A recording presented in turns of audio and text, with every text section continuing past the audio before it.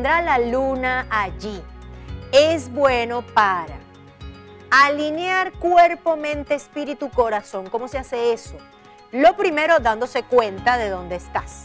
Si tienes kilos de más o de menos, hay alguna situación de alimentación que hay que vigilar, evidentemente dentro de tus posibilidades, pero siempre se puede hacer algo por la propia salud y la propia alimentación.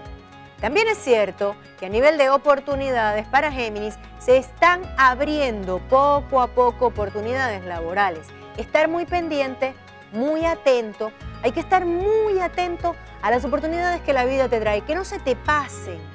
Esa situación de estar alerta puede desgastar un poco y ofrecer un poco de cansancio. Géminis, por favor no te vayas a descargar ni con la pareja ni con los seres queridos. Una reflexión adicional para los geminianos en este momento.